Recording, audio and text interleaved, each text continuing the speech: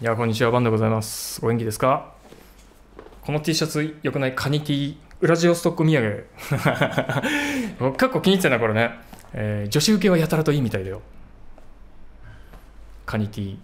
ホテルにさ、あの、ウラジオストック行ってきた動画 YouTube にアップしてるんだけど、あの、ホテルの入り口に、えーななんつうの？ホテルのエントランス入って右手にカウンターがあって左手にあのやたらと美人のお姉さんがたまにあの売り子をやってる売店があってそこで普段はここのカニティなかったんだけどある日ある日むしろそうだむしろホテルの前をすごい美人が歩いてるから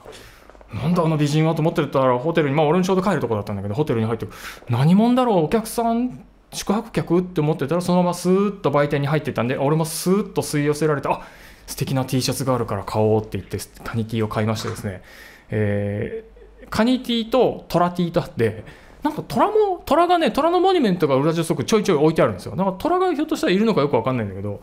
トラ T もあったんだけど、えートラ T カニ T 買ってったら嫁さんはカニ T は嫌だって言うんで嫁さんにじゃあトラ T を 着て寝巻きにでもするといいよって僕がカニ T を着てむしろカニ T 欲しかったんでちょっと嬉しかったですけどね、えーそんな感じで裏女足行きましたけどね。また行きたいんだけど今なかなか国外に出られない状況です。今日は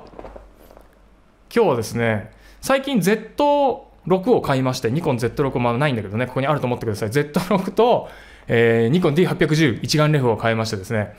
で両方ほんとスイッチスイッチしながらここのスタジオでもね、えーキャラクターによってちょいちょい変えながら解像度というよりもキャラクターでね写りのキャラクターで変えながら、えー D810 と Z6 と両方使ってるんですけどまあ両方いい感じですごい気に入っててまあ、キャノンとかとソニーとかとはま違うね。で、その話もそのうち包括的に富士、キャノン、ソニー、ニコンのあたりも、ロー画像をもとに一緒にやっていきたいなっていうふうに解説をしたいな、ローローの違いね。っていうのをやっていきたいなと思ってるんですけど、何はともあれですね、そのニコンの2台を使ってて、最近つくづく思うのは、そのミラーレス、ミラーレス一眼と一眼レフの違いって、今どっち行こうかなっていう思ってる人気になりません？多分。で気になるので僕の所感を今日述べたいなと思ってるんですけど、あのね、結局利便性で見ると、スペックが派手なのはミラーレスの方だね、今。だから、画素数とか、こう、ななんだろう、ちっちゃい軽いとか、えー最新のレンズもミラーレス用にみんな出てるしね。で、なんだろう、まあ各社も宣伝派手にやってるし、いいぜ、いいぜ、すごいぜ、すごいぜって、悪いのは電池の持ちぐらいだぜって言ってるんだけど、プロスコンズ、いいとこ悪いとこそれぞれあって、ざっくり言うとミラーレスはちっちゃくて軽くていいんだけど、電池の持ち悪いのやっぱり。ずっと液晶つきっぱなしだから、が悪いのと、あとなんかすっごい厳密なテストをしていくと、撮る前からずっと電圧がセンサーにかかっている。まあ見せなきゃいけないから、その電圧がかかっているので、事前に、事前というか常にずっとビデオカメラに電圧かかりっぱなしで熱を持ちやすいから、あの SN 比っつってちょっとノイズが、ノイズ的に不利なんじゃないのって言われてたり、まあ俺はあんま気になったことないけどね。があったりとか、あとなんだろう、えーセンサーが、まあ実際ローパスフィルターとかなんだけど、むき出しだから傷がつきそうで怖いとか、えー今俺不利な点述べるって言ってたっけ？どっちか忘れちゃったけど、えっ、と、まあまあ混ぜこぜで話すとちっちゃいし軽いし、えー、とでもちっちゃいし軽い、ボディはちっちゃくて軽いんだけど、2470の F2.8 とか出そうとすると、どのみちレンズがでかくなって、一眼レフと変わらないレンズのサイズなんだけど、どうなのみたいな風になっちゃったりとかですね、その光学のオプティクスの方はもう変えようがないから、フランジバックが短くはもうここまではいいか。まあ、ここから先はマニアックな話になるから、別の機会にしようと思うんですけど、まあ、とにかく軽くてちっちゃくて、最新でかっちょいい感じがするし、あとなんだミラーレスの利点って、うん、あ、あとあれか、えっ、と、瞳 AF が使えるとか、ポトレゼは瞳 AF やっぱ欲しいよね。で実際使うともっそ楽なの。一眼レフだと、一眼レフでフルサイズのカメラって、画面、例えばファインダーこうやって見るじゃん。ファインダーこうやって見たときに、画面の全部に、即興って言うんですあの AF ポイントが端っこまで行くってない、ないよね、多分ね。えーまず見たことがないです。で、あれはもうしょうがないらしくて、えーどうしてもフルサイズ機の場合は、キャノンだろうがニコンだろうが、まあまあ真ん中に寄ってるんです。ひょっとすると 1D 系とか、えーっと、ニコンでいう D、D5、6? あれ系はもうちょっと端っこまで広がってていいのかなと、いいのかもしれないんだけど、基本的に 5D 系とか、えー D800 番台ぐらいまでのやつだと、即興点まあまあ真ん中に寄っちゃってるんで、例えば、こう、人物を撮るときにも、こう、置きピンね、置きピンピピってやって動かしてピピって言ってやるので、モデルさんがこう微妙にポーズを変えるとか、行っても行っても前後に動くやつとかいるじゃないですか。てめえこの野郎って思うんだけど前後に動くんじゃねえっていう。であのねピントの原理を説明しても前後に動く人って絶対いるんでいるんでそういう人についてはもう何も言わず黙ってミラーレスがやっぱ有利なのね。でこの間ねこの間 Z6 で純正 2470F4 で一昨日ぐらいかなあの女の子撮ってみたらね意外と瞳外してて、ね、お前ニコンニコン頑張れお前ってなりましたけどもうちょっとテストしてまたお知らせするえー、っていうことがありましたけど、まあでも普通に撮る分には全然瞳 AF って有利なんで、一眼レフよりもやっぱり、えー、ある意味では動き物に強い、緩い動きのものについては全然強いと思います。ただ、えー、そのそういういいとこ悪いとこ一眼レフは電池がねその、えーとなんて写し鏡だからミラーレスとは。ボディがでかくなる代わりに、電池の持ちがいいし、レンズの ボディがでかいからじゃないんだけど、あの、ミラーレスと比べて同じ電池を使っても電池3倍ぐらい持つのよ。下手すると1000ショットとか切れちゃう。でその代わりファインダーを見ないと切れないし、ライブビューでこうやってやる一眼レフユーザーの人もいるんだけど、実際お友達でいるんだけど、邪道とは言わないんだけど、一眼レフなんだからファインダー見りゃいいじゃんと思っちゃうのね。で、あとはボディがでかいからでかいレンズをつけてもあんま気にならない。とかねハンドリングがいいっていういいっていうことですね。だったりとかいろんなことがあるんだけど僕が言いたいのは今日の動画で言いたいのは結局撮影体験が違うっていうことなんですよ。つまり撮っていてまず気持ちがいいかどうかとか、えー、実際の気持ちとしてどう違うのかって同じことを2回言ってるようなもんなんだけどつまりね、そのシャッター音とかはあんまり気にしないんだけど、一眼レフの方が正直なところ撮ってるなーっていう感じするんですよ。撮ってるなっていう感じがするし、僕スナップ、例えば通勤スナップを自宅からここまで、えー、しながら来て、スタジオで写真をバサってパソコンに落としたりするでしょ。まあ今の時期だとアジサイ咲いてる、もう終わりかけだけどね、アジサイが咲いてるんで、アジサイ撮ったって言ってくると、一眼レフの方がショット数がね、3分の2以下なんですよ。ミラーレスと比べて同じようなルート辿ってきても3分の2以下なんですね。で、前の動画でも多分ニコン動画でお話をしたと思うんだけど、一眼レフの方がどうしても撮った後でこうやって確認しないと、チンピングをして確認しないといけないので、そのその手間がある分、撮るときにちゃんと撮らないとめんどくせえなっていう気持ちが働くんですね。フィルムほどじゃないんだけど、手間がかかるカメラで撮っているので、あんまり外したくないなっていう気持ちが働いて、ショット数がトータルで減るんで、それがいい悪いは特にないと思うんですね。でそういうふうにで結局今の僕の時点ではミラーレスをしばらく使ったんで一眼レフで撮るのがちょっと新鮮な部分があるんですけど、えー、何はともあれですよそういうふうに撮影体験として違う部分はどうだろうなって考えてみると撮影体験として違う最大の理由っていうのがまずまあ今言った通りですねミラーレスの場合はストロボを使えない限り使わない限り撮る前に露出とかが、まあ、やるならホワイトバランスとかが見えちゃうっていうのが一番でかくてそれはポトレとかを撮るのにはものすごい有利で、えー、まあ砂利とか撮っててもそうなんだけどその事前に露出とかが分かるっていうのは外しにくいのでもう打率がぐっと上がるんですよね。だから例えばブライダルを撮ってる人つまり自然光で、えー、そのセレモニーとかが動きが動きがっていうかそのセレモニー自体が動いていくので要は光がこうちょこちょこ変わっていく巡光逆光とか回り込んだから俺も回り込まなきゃとかそういうことをやってると光の環境変わるでしょ？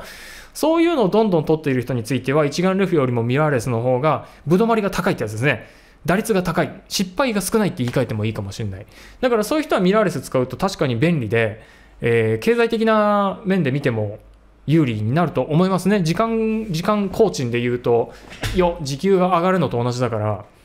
いいことだと思います。だから僕も仕事でイベント撮りの時なんかにミラーレス用紙なく使うし、スナップ撮り、人間が絡むスナップ撮りの時はミラーレス楽ちんだなって思いながらバチバチって撮ってるんだけど、ただ、一枚一枚にかかる気合については、これ自分の気持ちの問題でもあるんだけど、一眼レフの方が、よし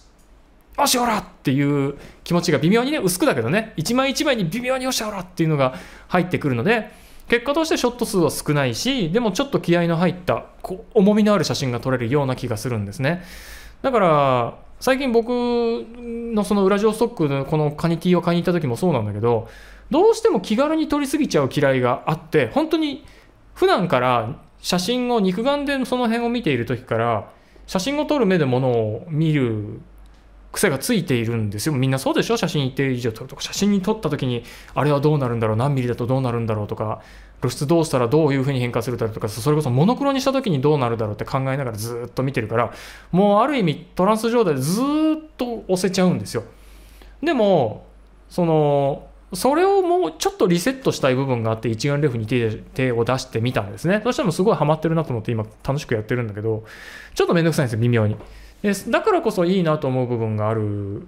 でそれがまず撮影体験として大幅に違うのとあとはやっぱり EVF 前から言われてることだけど EVF つまりあのこれから買おうとしてる人に簡単に説明するとミラーレス一眼っていうのは背面の液晶はデジタル一眼であろうがミラーレス一眼であろうが両方背面の液晶はついてますよね。これでかいですね。ついてるんだけどファインダーをこうやって覗いた時にファインダーの中に EVF って言ってちっちゃい液晶が入っているのがミラーレス一眼の特徴なんですね。であのものすごい初心者向けのカメラとかだとその液晶がないモデルもあるんだけどそれってコンデジ扱いなのかな？まあいいか。っていうことなんだけど何はともあれですよ。EVF ミラーレスの最大の特徴はこうやってファインダーを見ながら撮っている時でもファインダー内液晶それが EVF って言われるやつですね。EVF って何の略だっけ？エレク electric viewfinder か、えー、電子ビューファインダーってやつですね。が入っているので、えー、それがまず違う。で面白いのはね、2010年あたりの、もうちょっと後でもあるか、2012、3年あたりの価格コム掲示板とかが何かで検索するとボコッと引っかかってくるんだけど、一眼レフおじさん、しかもその時すでにデジタル一眼レフを使っているおじさんとかおじいちゃんとかが、EV あの EVF のミラーレスを作ってみたけど、こんなものとても受け入れられるの、こんなものは写真じゃないとかっつって切れてるやつが。結構面白いよね。で、俺はね、フィルムからデジタルに行く時点でそういうおじさんいっぱい見てたの。で、フィルムの時点で、あのデジタルカメラがデジタル一眼レフがキャノンでいう 10D とかが出てきた時点であんなものは使い物にならないから永遠にフィルムの方が解像度が高くてフィルムの方が優れてるに決まってるおじさんっていうのがいっぱいいたのよ。でもあのモンローの法則をこう引っ張ってくるまでもなく絶対量がするじゃんそんなの。あとなんだろう。売れてる数を見たら間違いなくメーカーはそこにお金突っ込んでいくに決まってるからどんどんセンサーね良くなるに決まってるからって考えたら正直ばっかじゃねえのと思って見てたんですね。でそれと同じようにミラーレス一眼それぞれさいいとこあって別物なのよ結局その結論としては一眼レフとミラーレスって。別物で僕は両方それぞれ今美味しいとこ取りを美味しいとこ取りをして楽しませてもらってる部分があるんですけど結局その撮影体験としてそれぞれ別物だからどっちがいいとかっていう問題じゃねえよって話になってくるんですよ。マニュアルフォーカスとオートフォーカスみたいなもんで、マニュアルフォーカス、オートフォーカスの時もね、あの、マニュアルフォーカス命みたいな人が、こうマニュアルフォーカスじゃないと絶対取れないからオートフォーカスなってあんなもん使い物なんねえよとか言いながら多分その何年かしたら黙って乗り換えたと思うよ。黙ってきゃいいのになと思うのそういうのって。思うんだけどそのマニュアルフォーカスじゃないと取れないというかマニュアルフォーカスが便利な場合も実はいっぱいあるのよ。あるの。置きピンがしやすいとか例えばね置きピンがすごくしやすいとか、どんなに表面何もないところでも、距離で合わせようとも絶対にピントが合うとかね、オートフォーカスだと永遠にピントが合わないようなところであっても、マニュアルフォーカスならピントが合うとか、物撮りの時みたいにピントを動かさなくていいもんなら、もうマニュアルフォーカスで決めてテープで貼っときゃ永遠に動かないでしょ？だってとかいろんないいことがあるんだけど、それと同じでミラーレスと一眼レフもそれぞれ別物別の機械だというふうに思います。だから、そうやって考えると、今悩んでいる皆さんに、どちらを変えということは一言では正直なところねそれを期待して見てくれている人には申し訳ないんだけど一言でどっちがいいよっていうのは言いづらいんですよ。ただ僕が最近ふと思い出したことが一つあって今日の動画を作るきっかけになったんだけどミラーレス一眼はこうデータをデータを取ってるぜイエーイって気持ちになりやすいからいかに後で戦うのに有利なデータが作れるかっていう気持ちになりやすいんですね。だから取っとけ取っとけ、いえいえ、バシバシ、バシバシ、バシバシバシバシっていう風で、猫とか遭遇するとえらいことになるんです。うわーっていう形になるんですね。で、それと同じように、まあ、そう、そうやってやってても単車だから連射はしてないから、なんか一応自分で瞬間を選んでるつもりではあるんだけど、後から見るとこう、どうでもいい瞬間がバーって並んでる感じがどうしてもしちゃう。ただ、ポトレとかの場合、仕事とかの場合も、絶対逃しちゃいけない時っていうのはあるんで、それは事前にファインダーで見ながら、ガンガン切っていけるっていうのはミラーレスのいいとこだなと思うんですね。でそれに対してミラーレス一眼じゃ一眼レフの方はシャッター音がうるさいっていうのもあってあとシャッターを切ると必ずブラックアウトするっていうのはまあミラーレスもねカメラによってあったりなかったりするんだけど一枚一枚がちょっと重いんですよ。だからもうちょっと気合の入った撮り方になるので、えーある意味ではミラーレス一眼でうわーって押してるとことと時と比べるとちょっと取り流ししやすいかもしれないんだけどより瞬間を選択しやすいっていうのとごめんねちょっとだけ話戻るんだけどっていうのともう一個ねレリースタイムラグがすごく気になるカメラがミラーレスの場合は多いんですね。でレリースタイムラグの定義って僕ちょっと分かってない部分があってこれあの詳しい方にぜひ教えてほしいんだけどレリースタイムラグってさ現実の動作とシャッターを切ってそのななんて言ったらいいんだろうな。ミラーレス一眼の場合ってさ、えっと、一眼レフの場合は本当に光のスピードで来るからあの光って1年に何何何1光年進むんだけど なんだっけ。忘れてたけどね、まあ、めちゃくちゃなスピードじゃん。俺ら絶対に手で捉えられないようなスピードだからビューファインダー越しに見てる、えーと、 optical のビューファインダー越しに見てるっていうことは、光のつぶつぶが実際にミラー、ペンタプリズム、ペンタプリズム、ペンで、えーと、ファインダーガラス越しに見ているので、ほぼリアルタイムですよね。肉眼で見ている実際に起きていることと、ファインダー越しに見ていること、一眼レフのファインダー越しに見ていることって、ほぼ同タイミングですよね。アインシュタイン先生にでも聞かない限りはその差ってないと思うんですよ。で、それに対して、ミラーレス一眼の場合は、一度、ファインダーをこうやって見て撮ってる場合は、一度、センサーを通って、えー、中の回路をニャーって通った後で、肉眼の、えー、肉眼で見える EVF に投影されて見ているので、そこのタイムラグはあるはあると思うんですけど、最近だいぶ早いですよね。そこの部分と、シャッターボタンを押した時と、実際に撮像される画像のどこからどこまでがリリースタイムラグなのかが俺分かんないですよ。つまり、えーと、実際に何かが起きました。こう一眼レフでレリースでこうやって切った時に例えばよ水滴がポタンポタンって落ちてるこうミルククラウンでいこうか。ミルククラウンがバチャンバチャンってなってこうあのねミルククラウンってどうやってやるかっていうと、えー、ま何か適当な板状の台を作ってそこに牛乳がこう何ていうの？い一層っていうのかな。さらっとある状況にしてそこから上から一滴一滴落としていくとあれ乾いたとかだとできないのバチャってなるだけで、えー、一滴一滴落としていくとこういう風にキルンってなるのね。でそれを落ちたタイミングに合わせてもちろんレディースを切っていくんだけどデジタルだとバチャッバチャってできるしまあねストロボ使っててストロボのチャージ時間があるからめちゃくちゃな連射はできないにしてもまあまあ切れるんですね。ででやっていく時に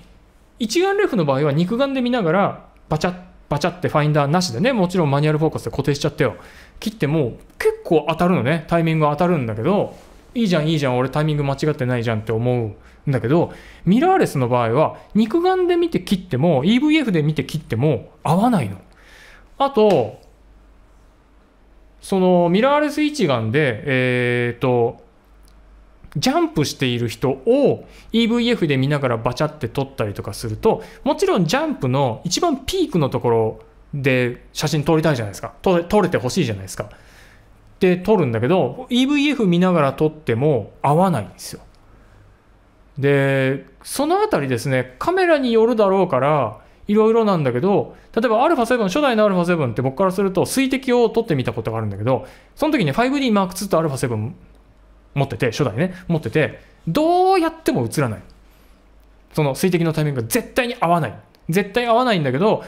5DMAX だといきなり取れるんですよ。打率8割ぐらいいくのね。バチャンバチャンってなってるところが。タイミングが合うんで。レリースタイムラグっていうのがその実際のリアルで起きていること、まあ、リアルっつっても光がね飛んできてるわけだからタイムラグはあるんだけどそこはなかったことにして誤差の範囲なんでなかったことにするとそこから実際に撮像される時間のことなのかそれとも単純にシャッターボタンを押した時から撮像される時のタイムラグのことを言ってるのか失礼。よくわかんないよね。だから英語圏のサイトに行くとあのカメラのレビューものすごい詳細にメーカー側のスペックをメーカー側出してないようなスペックを探り出してやってくれるようなサイトがあってそこから抜き出してきた日本語ブログぐらいしか見てない。だいたい数字見たって俺に役に立たないから結局合うか合わないかの問題でしかないから。見てると α7 でもものすごいシャッター、えー、とレリースタイムラグがすごい短いっていう情報があったりするしコンデジの方が早いとかいろんな情報が錯綜してて正直よくわかんない。でも結局僕の感覚からすると肉眼で見てシャッター切ろうが、えー、とこうやって EVF で見ながらシャッター切ろうが、いい悪いとか優劣の問題というよりも、単純に一眼レフの方が今だっていう瞬間で気持ちよくいいタイミングで撮れるんですね。話が長いねっていうふうに思うんですよ。だからそれが普段はね俺あんまり正直気にしないんですよ。もう一回ミラーレスの時は合わなかったらもう一回切りゃいいじゃんっていうタイミングなんで本当にミルククラウン取る時とか水滴バッチャーンっていうの本当に瞬間ものねよほどの瞬間ものを取る時は俺めったにないねそれ。